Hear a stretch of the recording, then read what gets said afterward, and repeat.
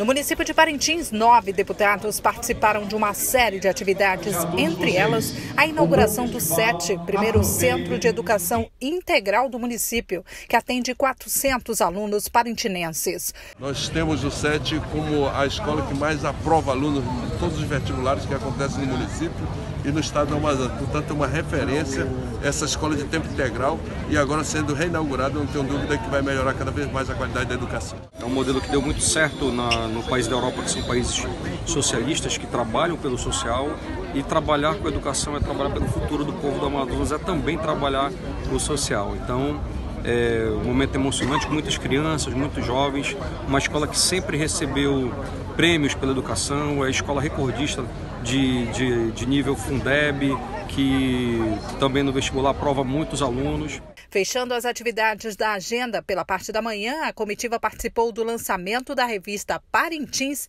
publicada pela imprensa oficial no Turistódromo, que recebe a 16ª edição da Feira de Artesanato e fica no centro da Praça da Catedral de Parintins. Os turistas que chegam na ilha já podem se preparar para um show que vai além das cores, mas leva cidadania para o interior do estado.